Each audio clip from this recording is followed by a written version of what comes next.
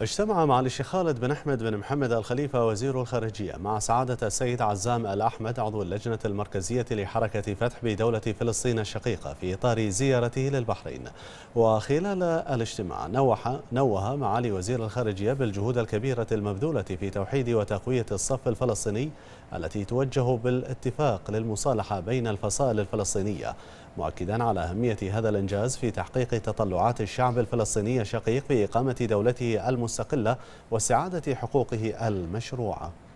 وجدد معاليه مملكة البحرين الراسخ موقف البحرين الراسخ والدعم للقضية الفلسطينية.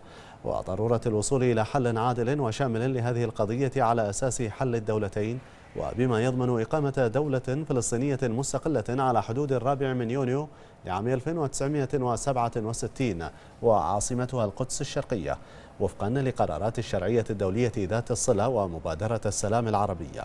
مشددا معاليه على ضرورة تحمل المجتمع الدولي مسؤولياته في إلزام إسرائيل بالتوقف عن كافة الانتهاكات التي ترتكب بحق الشعب الفلسطيني وعرضه ومقدساته في إلزام إسرائيل بالتوقف عن كافة الانتهاكات التي ترتكب بحق الشعب الفلسطيني وأرضه ومقدساته والتي تتنافى مع الأعراف والقوانين الدولية والمبادئ الدينية والقيم الإنسانية.